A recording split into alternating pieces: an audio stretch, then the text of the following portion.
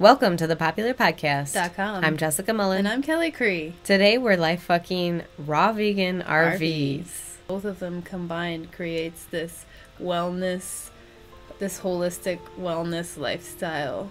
Like, I don't know, figuring out specifically what we're gonna do when we go to these cities. That's exactly what we need to do. I think. Are we gonna do there? Maybe it's just about promoting all the raw vegan places and food. Finding the vegetarians and vegans in the city, you know, and asking them, maybe having trying to have dinners with them and stuff. Yeah, and then it'll just be about finding the raw vegan experiences in each city. Oh my god, I'm so excited! It's perma camping!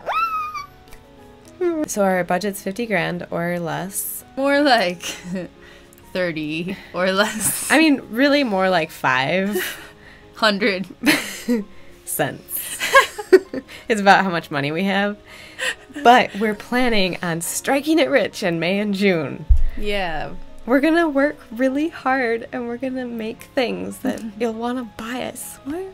Yeah. RV RV living is a holistic lifestyle approach to wellness.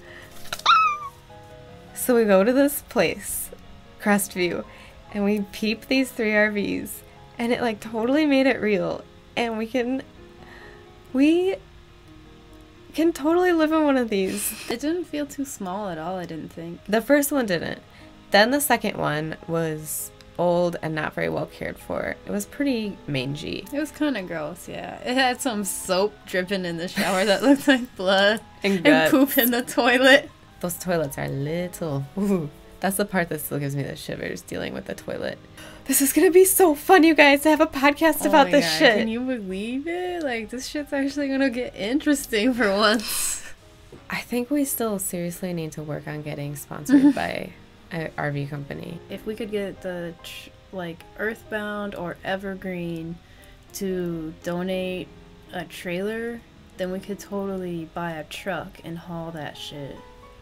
We have to start thinking differently about the way that we approach everything. That's what transcending reality is. That that's exactly what it is. It's questioning what you know as your reality and realizing that it's just that way because everyone was trained for it to be that way and we have to transcend and think about things from different ways and that's what this RV living is. It's like it's you gotta figure out new ways to make money. You gotta figure out new ways to be happy and self fulfilled. You gotta figure out a, a, like different think about different ways to live. You know, we have to move forward. Just because we've been fed white flour and potatoes and meat our whole lives doesn't mean we have to keep eating like that. When you in ex- when you experience an altered state, and sometimes you see how particles of the universe come together, that's what this is like. It's like our lives are like kind of doing this like beautiful fractal pattern, Maybe that's what the redesign is like.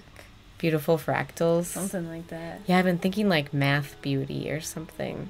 Guys, tell your friends. Please, just tell one friend. Just like on Facebook, just click the little share link and share it to your profile or something. That's a good one. Or become a fan on Facebook, which is cool. like it. Oh yeah, that's weird now.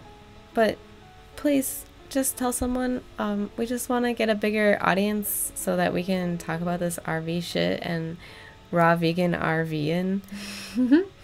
and we we hope that you guys care about that shit. Are you interested in that? Because that's what we care about and that's what we're doing.